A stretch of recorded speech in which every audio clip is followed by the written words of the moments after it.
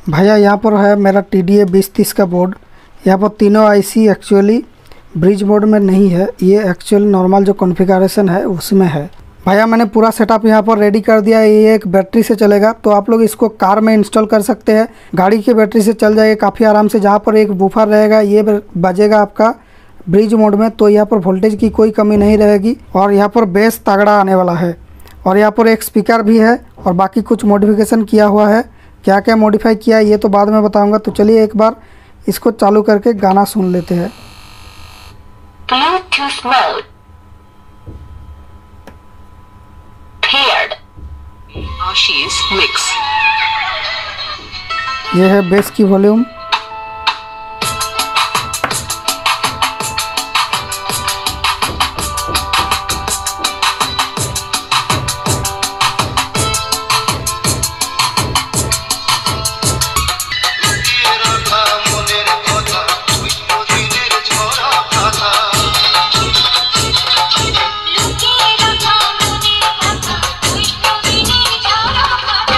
भैया देखा कितना तगड़ा बेस दे रहा है। ओनली एक ही बैटरी से ज़ीरो बारह वोल्ट डीसी से। तो इसके लिए बारह ज़ीरो बारह वोल्ट की कोई ज़रूरत नहीं है। तो ये करने के लिए आपको इतना सारा मॉडिफिकेशन करने की ज़रूरत है। इसमें मैंने 10 मॉडिफिकेशन बताया। उसमें से कुछ है इसको ब्रिज मोड में सेटअप करने के लिए।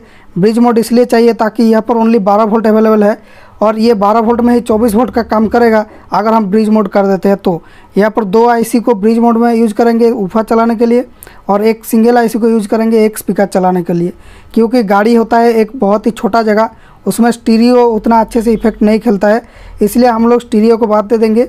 एक ओनली मोनो में स्पीकर चलाएँगे गाना के लिए और दो आईसी की मदद से ब्रिज मोड में आपका वूफा चलेगा तो इसमें तगड़ा बेस आएगी। तो ये तीन मॉडिफिकेशन वूफर के लिए और बाकी सारे मॉडिफिकेशन यहाँ पर कार बैटरी मोड के लिए मतलब कि बारह ज़ीरो बारह ए से ज़ीरो बारह डी में मॉडिफाई करने के लिए इसी बोर्ड को। भैया, इस टी डी ए बीस तीस बोर्ड में तीनों आईसी यहाँ पर ब्रिज मोड में नहीं है नॉर्मल मोड में है। इसको हम लोग ब्रिज मोड में कन्वर्ट करेंगे। तो यहाँ पर मैंने पावर दिया है, यहाँ पर डीसी सप्लाई से 12 वोल्ट का पावर दिया है। तो 12 वोल्ट इसका यहाँ पर प्लस माइनस 12 जो एसी लाइन है, यहाँ पर दे दिया। तो ब्रिज रेक्टिफायर के थ्रू जाके ये 12 वोल्ट डीसी बनेगी और इन दोनों कैपेसिटर में 6 वोल्ट 6 वोल्ट भर देगी। और बीच में जो ज़ीरो है, वो एक फ्लोटिंग ग्राउंड जैसा रहेगी। इस ग्राउंड का कोई ताकत नहीं रहेगी, लेकिन ये लगभग मेंटेन कर लेगा six volt by six volt दोनों में। हम लोग पीछे आएँगे। यहाँ पर एक ऑडियो इनपुट घुसा है। ये इनपुट कहाँ गया है, देखिए। इस वाली पॉइंट में गया है, जो कि इस साइड की, इस आईसी का जो इनपुट है, उसमें गया है। तो ये जो कनेक्शन पॉइंट है, ये यहाँ पर जो बीच वाली पिन है, इससे जुड़ी है, जो फाइव पिन का कनेक्टर है। तो इनमें ही हम लोग इनपुट तो देते हैं। तो खैर बेसिकली मैं यहाँ पर एक साइड का इनपुट दिया हूँ, एक चैनल का, क्योंकि हम लोग एक चैनल का ही स्पीकर इसमें बजाएँगे। और बाकी जो दो आईसी है, इन दोनों में हम लोग ब्रिज मोड करके साबूफत चलाएँगे। तो बाकी एक जो इनपुट है, वो हम लोग नहीं देंगे। ओनली लेफ़्ट या फिर ओनली राइट को देंगे। उसके बाद यहाँ पर जो ये वाला आईसी है, ये अभी खाली है, इसका कोई आउटपुट नहीं है तो इससे हम लोग ब्रिज मोड करेंगे और इस साइड का जो आईसी है, इसका आउटपुट से वूफर चलता था, यहाँ पर वूफर के लिए पॉइंट दिया हुआ है। तो इसमें जो लो पास आउटपुट ये निकलता है, यहाँ से बेस निकलता है। तो मैंने आउटपुट को देखने के लिए यहाँ पर एक डिवाइस यूज़ करूँगा, इसका नाम है ऑसिलोस्कोप तो ये सिग्नल दिखाता है और एक सिग्नल जनरेटर यूज़ करूँगा तो ये है एक फ़ंक्शन जनरेटर जिसको सिग्नल जनरेटर भी कहा जाता है, ये एक ऑडियो सिग्नल जनरेट करेगी। यहाँ पर एक सौ दिया है तो इसका आउटपुट यहाँ पर आ रहा है। तो ये है, ये बेस फ़िल्टर वाली जो आईसी है, इसका आउटपुट। और बाकी जो आउटपुट खाली है, इसका तार ये है। इस तार को मैं अगर लगाऊँ यहाँ पर किसी भी आईसी में तो ये वाला आउटपुट जो इस साइड की आईसी जिसमें हम लोग स्पीकर चलाने वाले हैं, इससे कनेक्ट करता हूँ तो ये ऊपर में एक और आउटपुट आ जाता है। तो ये है हमारा स्पीकर का आउटपुट। जिसमें बेस नहीं है नॉर्मल स्पीकर का आउटपुट। अब जिस आईसी में हम लोग इनपुट नहीं दिए है, उसका आउटपुट पॉइंट है ये वाला। तो इसमें अगर मैं इसको लगाता हूँ तो भी देखिए एक कम एम्पलीट्यूड का साइन वेव यहाँ पर दिख रहा है। तो अगर हम लोग इस गियर को बढ़ा देते हैं सॉरी इस वाली का तो इस गियर को बढ़ा के यहाँ पर लगा लगा के देखते हैं तो देखिए यहाँ पर एक सिग्नल हमें देखने को मिल रहा है। तो ये कहीं से सिग्नल लीक होके इस चैनल में आ रहा है। जो इस आईसी का सिग्नल है, वो कहीं से लीक होके इस आईसी में आउटपुट हो रहा है। तो वो लीक कहाँ पर हो रहा है, वो देखने के लिए मैं यहाँ पर बोर्ड को इस तरफ़ घुमा लेता हूँ। अब देखिए, यहाँ पर दो रजिस्टर है, टेन के टेन के। ये क्या काम कर रहा है? ये बेसिकली जो बेस फ़िल्टर की आईसी है, यहाँ पर जो पैंतालीस अट्ठावन आई लगा हुआ है, इसमें मोनो ऑडियो बना के दे रही है। तो मोनो ऑडियो कैसे बन रही है, यहाँ पर देखिए, जो डायग्राम है यहाँ पर ये दोनों पॉइंट है ये ये दोनों रजिस्टर है अठारह के मैंने टेन के बोल दिया सॉरी तो वो यहाँ पर मीट करके ये इस आईसी में जाती है पैंतालीस अट्ठावन की। तो यहाँ पर अगर एक में हम लोग इनपुट देते हैं तो ये थोड़ा थोड़ा लीक होती है इस तरफ़ से देखिए। सी थ्री में अगर हम लोग इनपुट नहीं देंगे सी फोर में देंगे जो कि यहाँ पर आ, ये वाला है इस आईसी का इनपुट तो इसमें अगर देते हैं सी थ्री में नहीं देते हैं फिर भी देखिए इस तरफ़ जाके वो इस तरफ़ वापस आ जाता है सिग्नल फिर जाके इस आईसी में थोड़ा थोड़ा आउटपुट क्रिएट करता है। हमें इस आईसी को पूरा पूरी फ्री करना है, तभी जाके इसको हम लोग ब्रिज मोड के लिए यूज़ कर पाएँगे। तो हमें इसको फ्री करने के लिए यहाँ पर एक रजिस्टर को डिस्कनेक्ट करना है, जिसमें हम लोग इनपुट नहीं दे रहे हैं। तो यहाँ पर हम लोग इनपुट दे रहे हैं इस तरफ़ के आईसी में तो इसलिए एक रजिस्टर यहाँ पर खोल देंगे, जो कि इस तरफ़ के आईसी के साथ लगा हुआ था।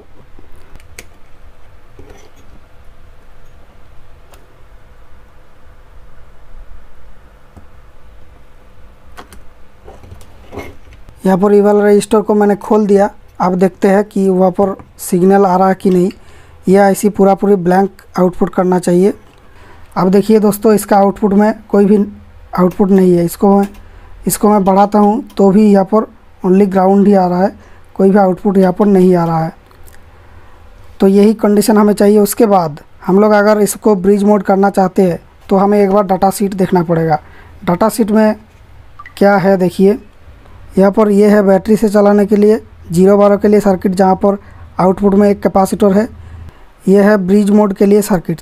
भैया, ये वाला जो सर्किट है, ये टी डी बीस तीस का नॉर्मल सर्किट ही है, जो कि हमारा इस वाली बोर्ड में बना हुआ है, जो कि इस वाली सर्किट है। लेकिन यहाँ पर डिफरेंस बस इतना है, ब्रिज मोड करने के लिए यहाँ पर क्या किया गया है, ये जो आई सी वन का आउटपुट है, इस आउटपुट से एक फीडबैक लेके एक ट्वेंटी टू के रजिस्टर से यहाँ पर जो आई सी टू है उसका दो नंबर पिन में इस नेटवर्क में कहीं पर इनपुट किया गया है। मतलब कि इसका सिग्नल को इसका दो नंबर पिन में इंजेक्ट किया गया है। पिछले वीडियो में मैंने इस वाले डायग्राम को समझाया था एकदम डिटेल से तो आप लोग उस वीडियो को देख लेंगे तो ज़्यादा आसानी होगा। दोस्तों, इस आईसी में दो पिन रहता है इनपुट के, जो टी डी बीस तीस आई है। पिन नंबर वन और टू। पिन नंबर वन है non inverting input pin number two है इन्वर्टिंग इनपुट तो यहाँ पर जो पिन नंबर वन है, ये नॉन इन्वर्टिंग इनपुट मतलब यहाँ पर अगर सिग्नल हाई होता है तो आउटपुट का सिग्नल भी बढ़ने लगेगा। और जो पिन नंबर टू ये भी एक इनपुट है, लेकिन यहाँ पर सिस्टम अलग है, उल्टा है। यहाँ पर अगर वोल्टेज राइज करता है मतलब बढ़ता है, यहाँ पर वोल्टेज घटेगा फॉल करेगा। तो यही होता है जो इन्वर्टिंग इनपुट उसका खासियत। तो यहाँ पर क्या किया गया है, इसका जो ब्रिज मोड की जो एग्ज़ाम्पल सर्किट है, एक तो इसका नॉन इन्वर्टिंग इनपुट से इनपुट लिया गया है ऑडियो का तो ये जो है सही सिग्नल पैदा करती है जो इसमें वोल्टेज बढ़ता है इसमें भी बढ़ता है। लेकिन ब्रिज मोड में एक, स्पीकर को चलाने के लिए एक आईसी में वोल्टेज कम होना चाहिए एक आईसी में बढ़ना चाहिए तभी ये स्पीकर चलेगा।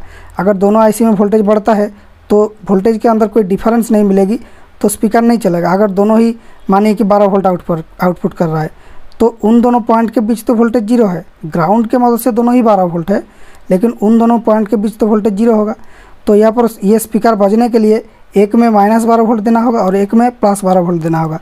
तभी जाके इसमें ट्वेंटी फोर वोल्ट की गैप मिलेगा और उसी में स्पीकर बहुत ज़्यादा एम्पलीट्यूड से वाइब्रेट करेगी। तो इसलिए जो आई सी वन का आउटपुट है, ये अगर बढ़ता है आई सी टू का आउटपुट कम होना चाहिए मतलब उल्टा होना चाहिए तो ऐसे ही ये ब्रिज मोड काम करेगा।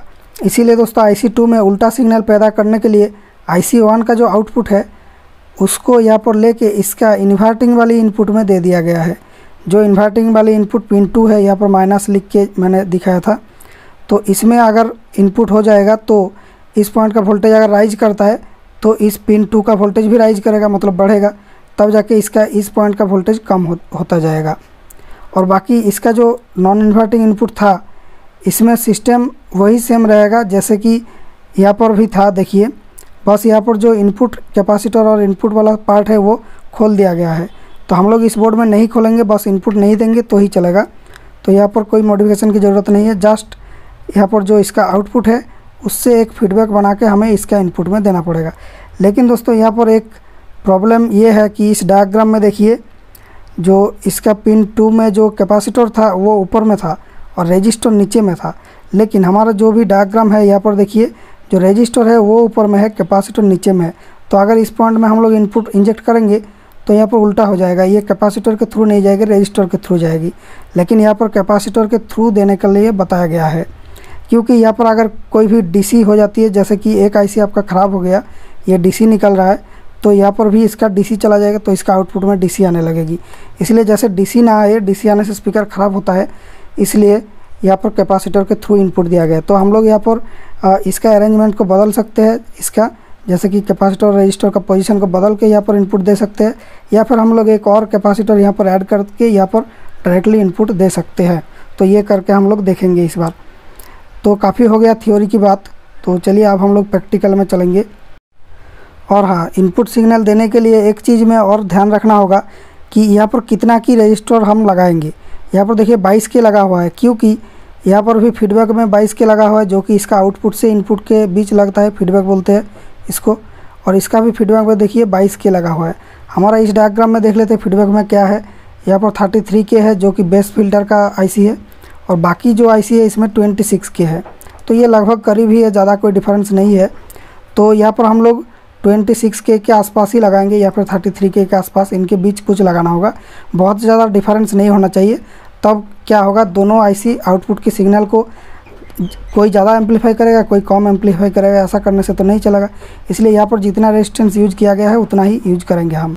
दोस्तों, यहाँ पर 26 किलो हम के रजिस्टर लगा हुआ है, लेकिन वो वाला रजिस्टर मेरे पास नहीं है। तो यहाँ पर मेरे पास जो अवेलेबल है 54 के की तो ऐसा हम लोग दो रजिस्टर को अगर एक साथ लगा देते हैं तो ये इसका रेजिस्टेंस आधा हो जाती है तो 54 के आधा 26 के आसपास ही हो जाएगा तो शायद हमारा काम बन जाएगा। तो ऐसे मैंने दो रजिस्टर को एक साथ कनेक्ट कर लिया। अब देखिए इनका जो वैल्यू निकला, वो कितना है? 27.4 के तो इससे ही हमारा काम हो जाएगा। हम लोग इसको डायरेक्टली नहीं लगाएँगे, जैसे कि मैंने बोला एक कैपेसिटर से लगाएँगे तो यहाँ पर एक कैपेसिटर को भी हम यूज़ कर लेंगे। ये है एक वन माइक्रोफेराड की कैपेसिटर ये देखिए 50 वोल्ट वन यूएफ जो बेस फ़िल्टर वाला आईसी का आउटपुट है, इससे हम लोग फीडबैक लेंगे और फीडबैक देंगे कहाँ? जिस आईसी को हम लोग नया मॉडिफाई कर रहे हैं, ऊपर को बजाने के लिए, उसका जो पिन नंबर टू है, उसमें लगा देंगे। तो यहाँ पर जो पिन नंबर वन है, वो है ये वाला। पिन नंबर टू है इसके ऊपर में। थ्री ये फोर वो फाइव ये फोर से आउटपुट होता है। तो ये वन है ये वाला टू है। तो हम लोग यहाँ पर टू के कनेक्शन में लगा देंगे। पिन टू का कनेक्शन यहाँ पर भी है। तो यहाँ पर कैपेसिटर को कनेक्ट किया और इस पार्ट को कनेक्ट कर देंगे जो बेस फ़िल्टर वाली आईसी है उसका आउटपुट में। तो मैंने इसको पिन नंबर फोर में कनेक्ट कर दिया।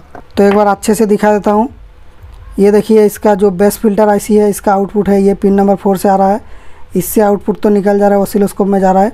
और इससे ही ये रजिस्टर और ये कैपेसिटर लगा के मैंने ये जो आईसी है, जिस आईसी को हम मॉडिफाई कर रहे हैं उफा चलाने के लिए उसका पिन नंबर टू में। ये है वन ये है टू थ्री फोर फाइव तो ये पिन नंबर टू में लगा दिया। अब चलिए देखते हैं क्या होता है। अब देखिए, यहाँ पर सेम सिग्नल हम लोग दे रहे हैं और दोनों में जो आउटपुट है वो उल्टा है। एक में वोल्टेज घट रहा है तो एक, दूसरा में बढ़ रहा है, देखिए। तो यहाँ पर गौर से देखिए, एक में हमारा वोल्टेज जो है वो नीचे है फॉल किया है। दूसरा में देखिए वोल्टेज यहाँ पर राइज किया है। अब देखिए भैया रियल टेस्टिंग यहाँ पर मैंने एक स्पीकर भी लगा दिया। एक वूफर लगा दिया फोर ओम की। एक्चुअली डाटा सीट बोलता है कि यहाँ पर एट ओम का लगाओ, क्योंकि यहाँ पर ब्रिज बोर्ड में वोल्टेज जो है इफ़ेक्टिव वोल्टेज वो डबल हो जाती है। एक में वोल्टेज हाई देता है, एक में लो देता है। तो डिफरेंस जो है डबल हो जाती है। इसलिए एट ओम की लोड लगाने को बोला जाता है। लेकिन क्योंकि मैंने यहाँ पर 24 वोल्ट की जगह ओनली 12 वोल्ट, यानी 606 में मैं चला रहा हूँ, इसलिए 4 ओम की लोड सही है इसके लिए। तो चलिए अभी यहाँ पर इनपुट को ऑन करते हैं और देखते हैं कैसा साउंड यहाँ पर आ रहा है। तो देखिए अभी यहाँ पर अब ये करंट आने लगा जब मैं यहाँ पर साउंड दे रहा हूँ तो स्पीकर का पर्दा देखिए वाइब्रेट कर रहा है। और ख़ास बात यहाँ पर यह है कि जो लोड दिया, उसके बाद भी यहाँ पर जो है इन दोनों जो सिग्नल है, इनके बीच शिफ्ट नहीं हुआ। क्योंकि ये शिफ्ट होना भी नहीं चाहिए, लेकिन मैंने आपको दिखा दिया जस्ट जैसे कि आपको कन्फ्यूज़न ना रहे। तो यहाँ पर अगर इन दोनों सिग्नल को ऐड कर दिया जाए तो कैसा दिखाता है सिग्नल तो यहाँ पर देखिए, अगर मैं डिवाइड कर देता हूँ सिग्नल्स को तो ये कम एम्पलीट्यूड वाली सिग्नल्स दिखाता है। और जो इफ़ेक्टिव सिग्नल बन रहा है, वो है यहाँ पर ऐड कर देने से बनता है। ये देखिए एम्पलीट्यूड जो है, ज़्यादा मिल रहा है स्पीकर को। जैसे यहाँ पर सिग्नल जो है ऐड हो जा रहा है, उसके बाद ही स्पीकर बज रहा है। लेकिन दोस्तों, मैंने यहाँ पर ओनली ज़ीरो और बारह वोल्ट को कनेक्ट किया, जो मिडिल वाली जो ग्राउंड है, उसको मैंने कनेक्ट ही नहीं किया। ये फ्लोटिंग है। तो यहाँ पर इस तरह से आप लोग जो है, गाड़ी के अंदर स्पीकर्स बजा सकते हैं। भैया मैंने पूरा सेटअप यहाँ पर रेडी कर दिया ये एक बैटरी से चलेगा। तो आप लोग इसको कार में इंस्टॉल कर सकते हैं।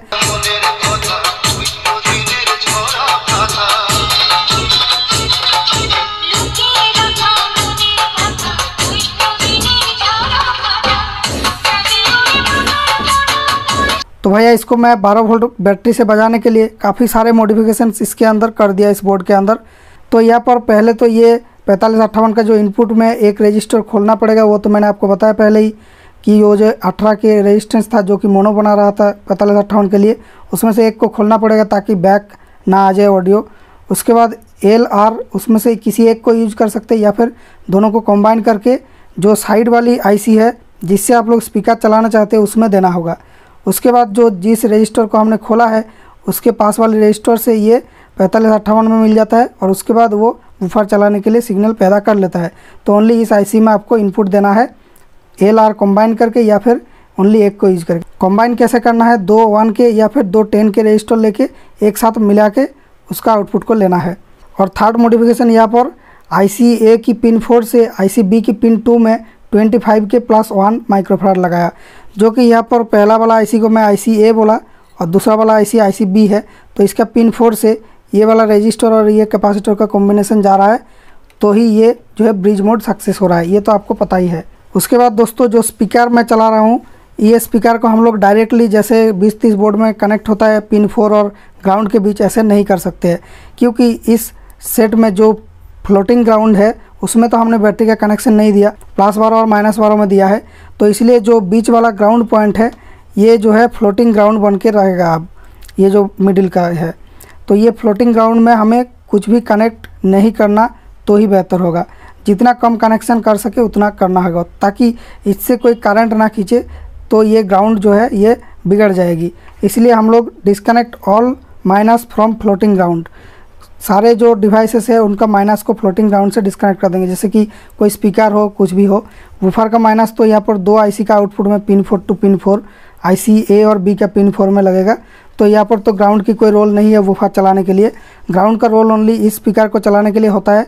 तो यहाँ पर ग्राउंड को मैंने इस स्पीकर का ग्राउंड को जो माइनस बारह वोल्ट उसमें लगा दिया, जहाँ पर ये बैटरी का माइनस गया हुआ है। ये माइनस बारह वोल्ट इस कैपेसिटर का माइनस में है ओके यहाँ पर पावर लाइन में दो कैपेसिटर जो है, वो बड़े बड़े कैपेसिटर सीरीज़ में रहते हैं।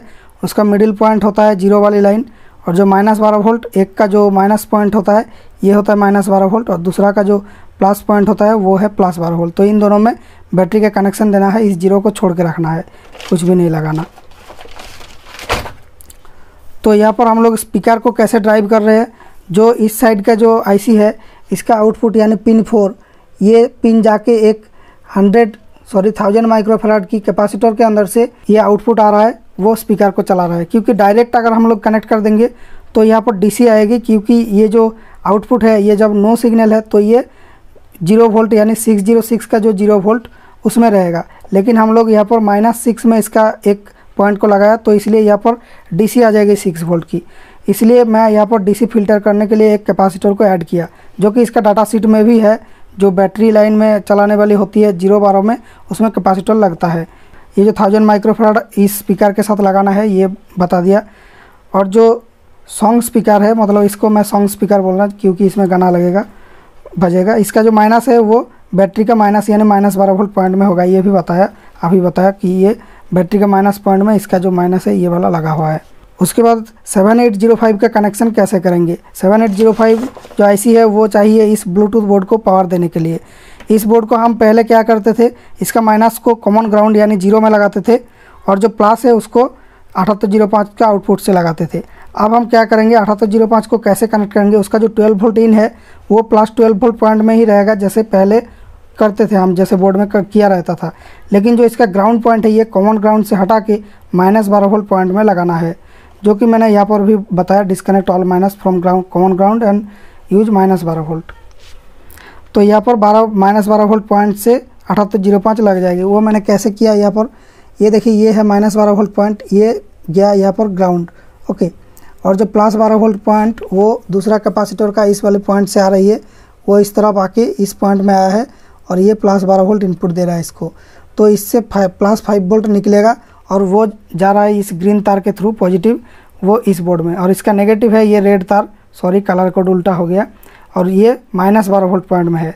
पहले हम क्या करते थे, इस बोर्ड का माइनस को कनेक्ट करते थे कॉमन ग्राउंड यानी ज़ीरो में। लेकिन वो अब फ्लोटिंग बन गया, उसमें हम लोग लोड नहीं दे सकते हैं। इसलिए इसको हम लोग लगाया बैटरी का माइनस में। ओके ये वाला माइनस पॉइंट यानी माइनस बारह पॉइंट में। तो ऐसा इसमें भी लिख दिया। उसके बाद एम पी थ्री बोर्ड का जो माइनस है, ये ये देखिए, ये सेम बात यहाँ पर लिखा हुआ है। और जो आठ नंबर की मॉडिफिकेशन है, ये एम पी थ्री का जो A G N D point है, यानी जो आउटपुट यहाँ से ऑडियो निकलता है, यहाँ पर A G N D point होता है और एल आर होता है। तो एल आर को हम लोग कंबाइन कर सकते हैं। उसके बाद एक इनपुट यहाँ पर, इस वाली आईसी का इनपुट यानी पिन वन के साथ जो इनपुट जहाँ से आ रहा है, वहाँ पर दे सकते हैं, जो कि पहले ही बोला कि एल आर को कंबाइन करके देना है। और इसका जो ए जी एन डी मतलब जो माइनस पॉइंट है आउटपुट का इसको हम लोग पहले लगाते थे फ्लोटिंग ग्राउंड में, लेकिन अब मैं लगाऊँगा इसको माइनस बारह वोल्ट पॉइंट में। और इसी में दिक्कत शुरू होती है क्योंकि माइनस बारह वोल्ट और यहाँ पर हम लोग इनपुट में देंगे तो इस तरफ़ यहाँ पर डीसी आ सकती है डीसी सिक्स वोल्ट तो इससे इस बोर्ड को प्रोटेक्ट करने के लिए यहाँ पर देखिए, एक मैंने ये जो लाल तार में इसका ऑडियो आउटपुट जा रही है यहाँ से तो इसको मैंने एक 104 कैपेसिटर के अंदर से भेजा है, ताकि यहाँ पर डीसी बैक ना आ जाए। और यहाँ पर एक 10 के की प्रोटेक्शन के लिए रजिस्टर भी लगा हुआ है उसके बाद ही इनपुट यहाँ पर घुसा है। तो इस बात का ध्यान रखिए जो यहाँ पर मैंने लिखा कि 20-30 बोर्ड का इनपुट में 104 और 10 के लगाना पड़ेगा। और वन के रजिस्टर्स पैरालल विथ कैपा, पावर कैपेसिटर्स ये क्यों मैंने किया?